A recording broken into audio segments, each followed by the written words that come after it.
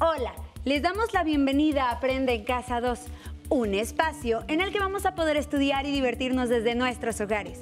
Hoy nos acompaña la maestra Juana Campos y vamos a tener el gusto de estar con ustedes en esta clase de ciencias naturales de quinto grado. ¿Están listos? ¡Comenzamos! Bienvenida maestra, bienvenido Ton. Gracias. Hoy vamos a ver un tema que estoy segura les va a encantar a ustedes y también a los estudiantes que nos acompañan desde casa.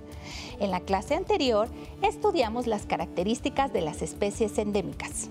Hoy vamos a conocer algunos ejemplos de estas especies.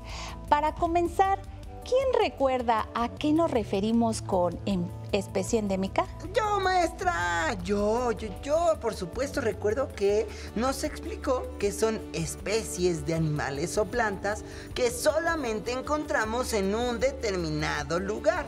Muy bien, Tom. Veo que sí prestaste mucha atención. Recuerdo que nos mencionó que México tiene gran diversidad de estas especies. Así es, gran parte de la amplia diversidad de especies de México está constituida por especies que solo habitan en nuestro país. Algunas están restringidas a islas o las partes altas de las montañas, otras a ríos, lagos o lagunas, otras a cenotes y cuevas.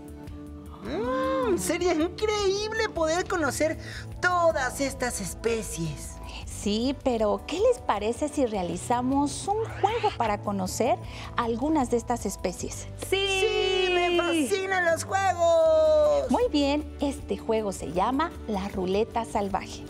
Cada uno de nosotros girará la ruleta, la cual tiene ejemplos de algunas especies endémicas de México. Al girarla y donde caiga aparecerá una especie para conocerla. ¿Están listos? ¡Sí! ¡Qué padre actividad, maestra! ¿Puedo comenzar yo, maestra? Ok, Tom, comienza, por favor.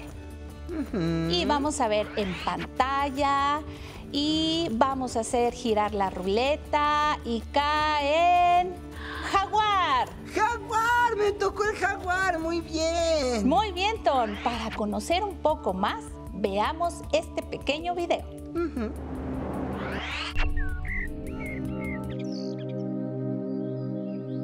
En este paisaje de contrastes, se escribe a diario un relato con tintes dramáticos, una historia de lucha y sobrevivencia.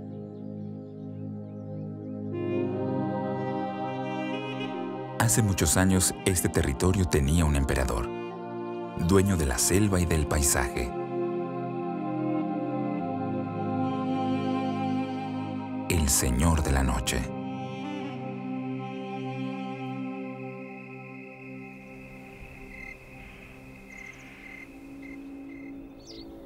Los antiguos mayas y aztecas lo admiraron tanto que quisieron parecerse a él. Lo veneraron, lo hicieron Dios. Lo incorporaron a sus esculturas, sus máscaras y a sus trajes de guerreros. ¡Wow! ¡Qué animal tan fantástico, maestra! De verdad es impresionante, impresionante. Así es, el jaguar es el felino de mayor tamaño en América y el tercero en el mundo después del tigre y el león. Se alimenta de mamíferos, aves, reptiles, anfibios, peces e invertebrados. Son nocturnos y raras veces salen durante el día. ¡Ay, qué interesante, maestra! Ya quiero conocer la siguiente especie, ya quiero. Ahora es mi turno, ¿puedo ser yo, maestra? Sí, adelante. Vamos a girar la ruleta. Y giramos la ruleta. Vamos a observar. ¿Estás nerviosa, Len? ¿Qué Sí, va a caer? sí, sí, y sí, cayó en la vaquita marina. ¡Ay, qué bonito la vaquita marina! Vamos, a ver un video entonces, Así es.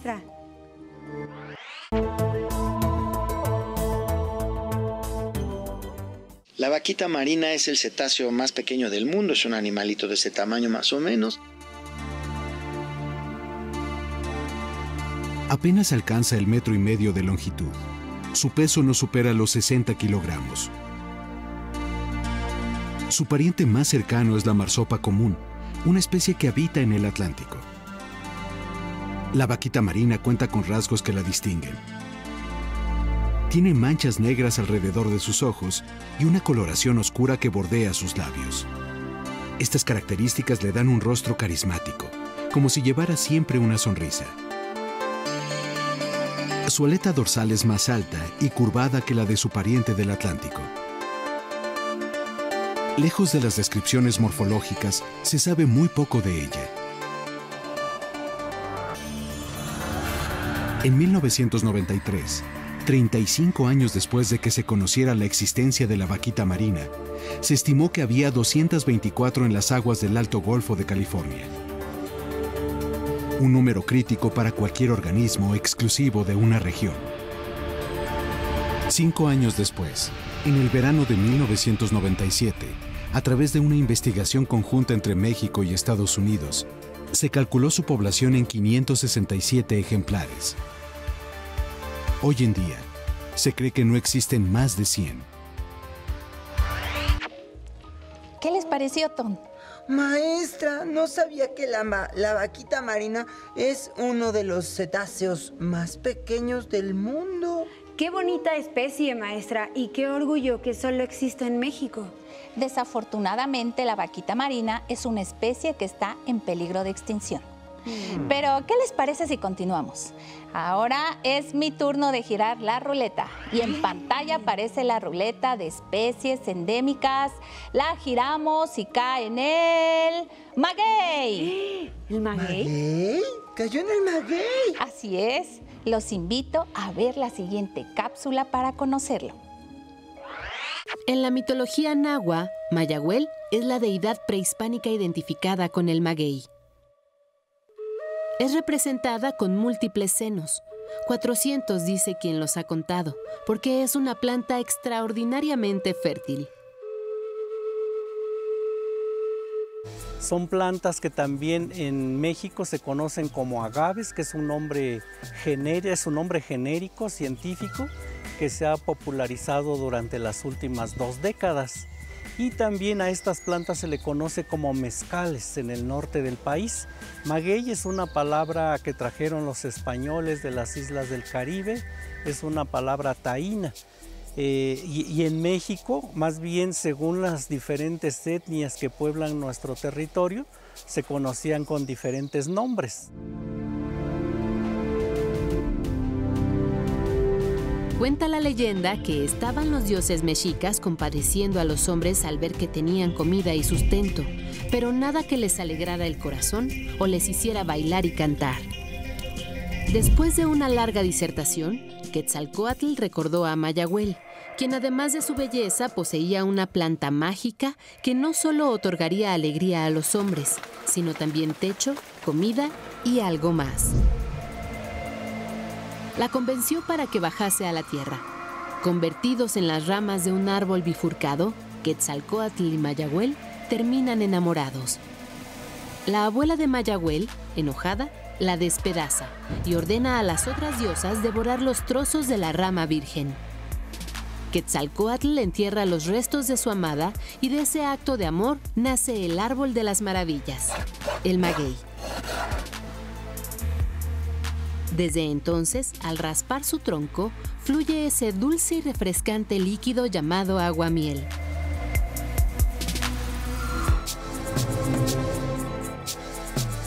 Si recuperáramos del pasado remoto todos sus usos, nos sorprenderíamos. Consta en los códices laúd, florentino y mendocino, una larguísima tradición de su cultivo en Mesoamérica, principalmente en México. 25 siglos de una cultura en la que las más variadas civilizaciones han aprovechado sus diferentes partes. Con ellas hacían hilos, agujas, calzado y papel. Sus gruesas hojas también eran utilizadas para construir cercas y techos para casas. Pero lo que lo hace aún más especial es el líquido vital que corre por sus venas y que da origen a la materia básica que después se transformará en tequila, mezcal o pulque.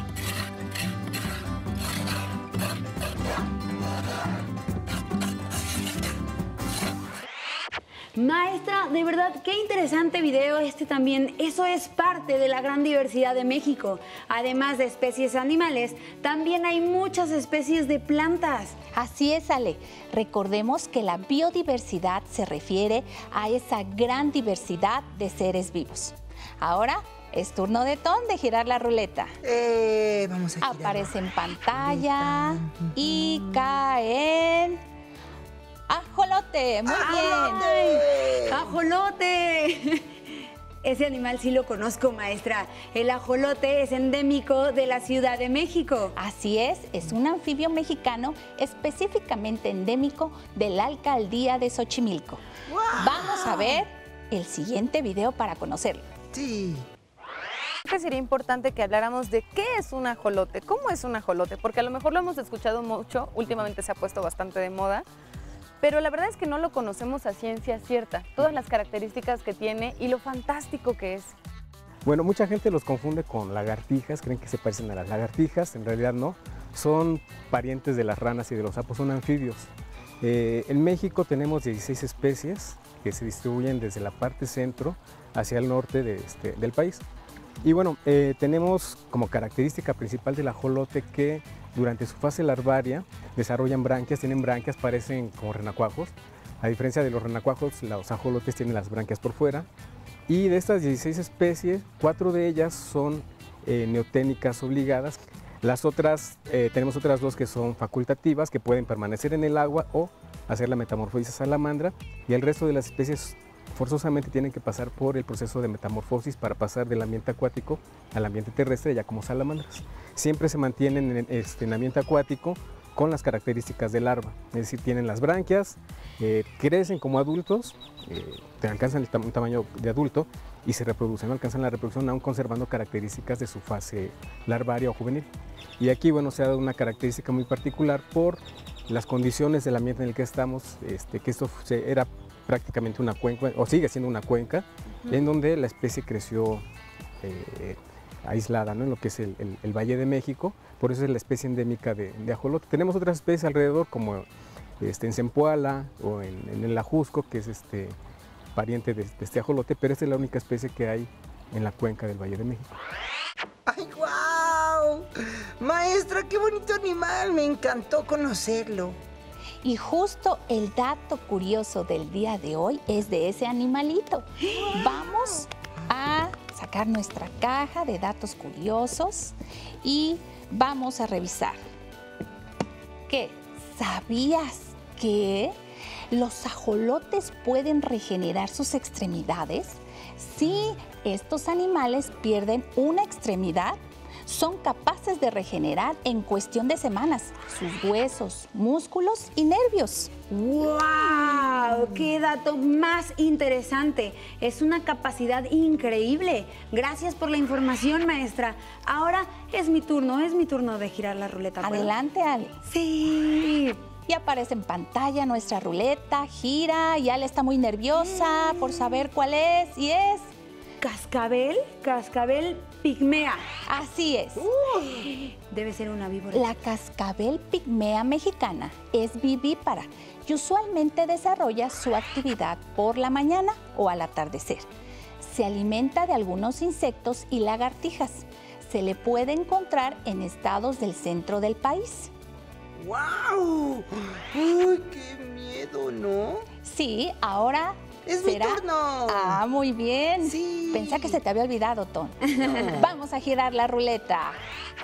Y va a caer en... Vamos a ver. ¡El hecho! Muy bien. Este lecho lo podemos encontrar en lugares tan diversos como troncos de árboles, a la orilla de las carreteras y caminos, en muros de piedra húmedos y en los bosques y selvas, su hábitat natural. Ay, yo he visto esas platas, maestra. Ay, hasta creo que mi mamá tiene una de esas en el jardín. Así es, Ton, muchas de estas especies las podemos encontrar en jardines o bosques, pero otras están protegidas para su protección y conservación. Qué interesante, maestra. Ahora, Ale, los quiero invitar a ver un video para recapitular algunas ideas que trabajamos el día de hoy. ¿Les parece? sí, claro que sí. Hola, bienvenidas y bienvenidos. El día de hoy identificaremos algunas especies endémicas de México. Especies endémicas son aquellos animales y plantas que solo se encuentran en una región. Esta puede ser todo el territorio de un país, un estado específico o cualquier río, montaña, cueva o manantial. Algunas especies endémicas en México son el teporingo, el junco de Guadalupe, la araña violinista mixteca, el ajolote, la orquídea de Oaxaca y el peyote. México es uno de los países con más variedad de especies endémicas. Tenemos la responsabilidad de cuidarlas respetando las regiones que habitan, pues cualquier afectación a su hábitat puede resultar en su extinción. La extinción de una especie es un problema importante porque rompe la cadena alimenticia y esto rompe con el equilibrio del ecosistema. Por eso, hay que cuidar a todas las especies de nuestro planeta. Nos vemos. Hasta la próxima. Pues en México, al ser un país tan diverso, también tiene una diversidad de especies endémicas. Por ejemplo, hay más de 9.200 especies de magnolias y margaritas cerca de 2.500 escarabajos, cerca de 1.700 especies de arañas y casi 200 especies de pastos y palmeras. ¡Wow!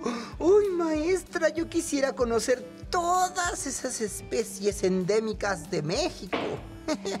Entonces será un poco complicado, porque son muchísimas. Pero, ¿qué te parece si para seguir conociendo más sobre estas especies endémicas, realizamos el reto de hoy? Sí, vamos a hacerlo. Muy bien, para el reto de esta clase, deberán investigar en diferentes fuentes un animal y una planta que sean especies endémicas de su localidad o estado en el que viven. En su diario de campo, registren las características más importantes de la especie endémica que hayan investigado. Por ejemplo, cómo se alimenta, cómo es su reproducción, dónde habita, etc. Finalmente, ilustren con dibujos o recortes su registro de observación. Me gusta el reto, maestra. Yo también voy a elegir mi especie endémica. Y tú, Tom, también vas a hacer tu tarea, ¿verdad? Por supuesto que sí. Ay, creo que yo ya sé dónde voy a comenzar a buscar. Bueno, pues adelante con esa investigación de sus especies endémicas. Y no olviden compartir con su familia, maestra o maestro y compañeros sus registros de observación. Nos vemos en la siguiente clase de Ciencias Naturales. Muchísimas gracias, maestra Juanita. Muchísimas gracias, Ton. Ha sido un placer estar con ustedes en esta clase. Hemos terminado con especies endémicas de México. Espero que lo hayan disfrutado tanto como nosotros. A continuación, hasta la próxima. Pero antes, vamos a una cápsula musical.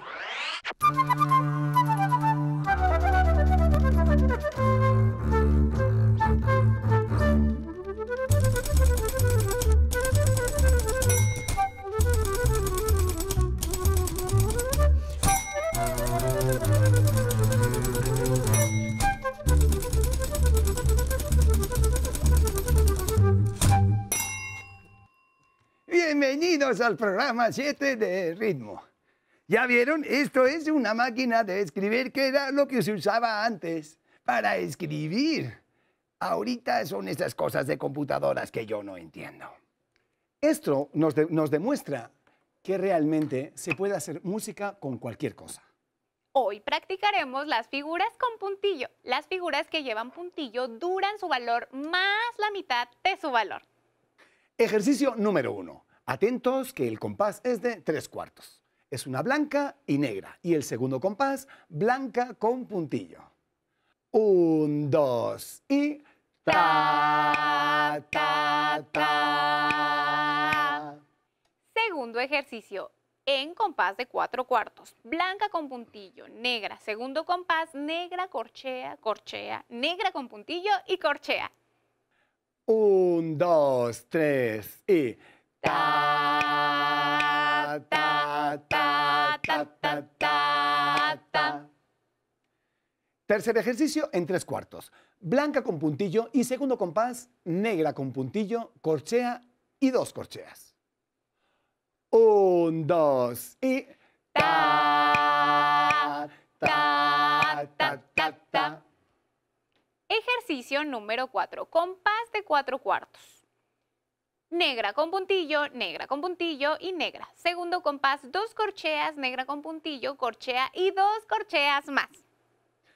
Un, dos, tres y ta, ta, ta, ta, ta, ta, ta, ta, ta. Muy bien, ahora ya practicaron la suma en la música a través del puntillo. Pues mañana más, pero no mejor porque es imposible. Aquí en Aprende Música en Casa. Adelante.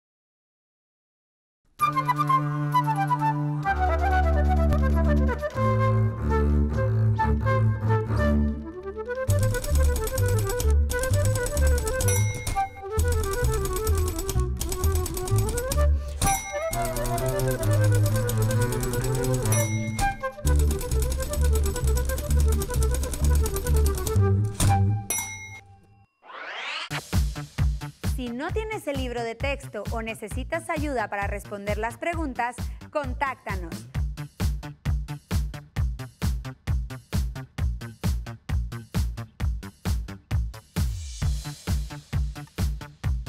También puedes encontrar los libros de texto en la página conalitech.sep.gov.mx.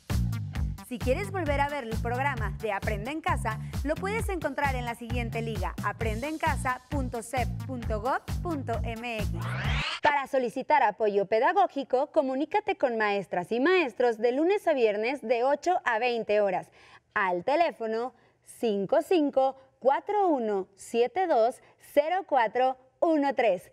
100 líneas. No se muevan de su lugar. Tenemos algo muy importante para ustedes. Acompáñennos. Oye, entonces. encantan los animales. Ay, a mí también. Maestra, platíquenos de los pingüinos. Ay, ¿tú quieres saber de los pingüinos? Todavía me acuerdo la primera vez que vi germinar una plantita y en mi cabeza solo podía pensar qué tenía que pasar en él para que pudiera crecer. En mi casa todo empezó con un juego, con mi pequeño microscopio. A veces mezclando cosas en el baño y explorando todo lo que me encontraba a mi paso.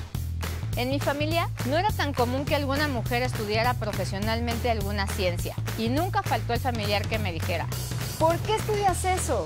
Nadie se va a querer casar contigo. Decidí estudiar ingeniería bioquímica porque me ayudó a entender cómo funcionaban los seres vivos, pero también empezó mi camino para descubrir soluciones que nadie más había encontrado. Hace unos años innovamos en el mundo de la nanotecnología, creando una nueva molécula capaz de matar virus, ayudando a acabar con una crisis de ébola. La vida te va a poner miles de retos. Está en ti seguir tus sueños, innovar y crear esperanzas y sobre todo dejar tu nombre marcado en la historia.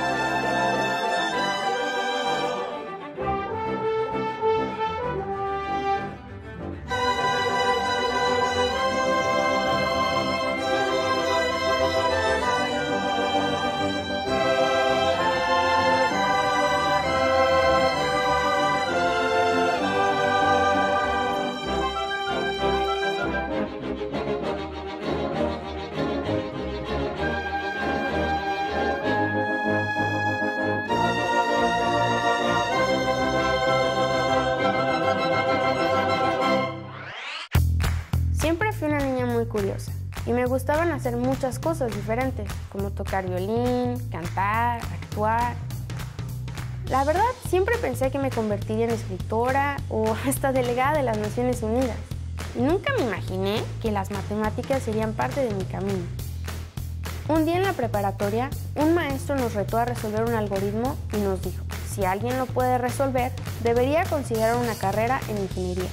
Yo lo resolví, lo entregué, pero el maestro me dijo, está bien, pero no creo que seas ingeniero, tú eres mujer. Entonces decidí estudiar ingeniería. Pienso que sido una de las mejores decisiones que he tomado. Ahora diseño dispositivos que ayudan a que entendamos conceptos abstractos de matemáticas y física para así hacer la educación más interactiva y accesible para todos. El mundo te puede decir que no, pero está en ti demostrar lo que puede ser.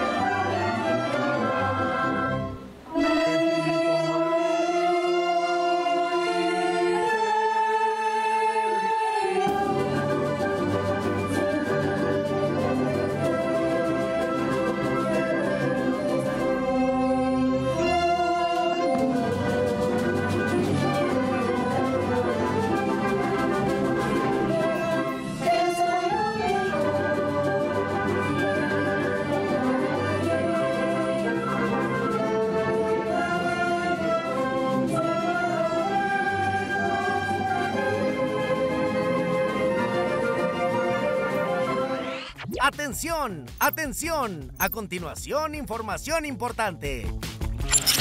A este número puedes llamar cuando tú o alguien cerca de ti tenga una emergencia.